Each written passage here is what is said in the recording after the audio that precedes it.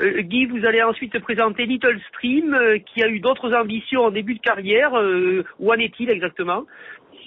Bon bah Little Stream il avait il a été à Pau. euh, quand on est à Pau, on court toutes les courses au- auxquelles on a droit. Hein, et il a il a pris de l'argent sans être un phénomène. Il a gagné sa vie. euh, un- il vient de gagner en haie. C'est un cheval qui est pas mal, mais qui est pas un avion en réaction. Hein.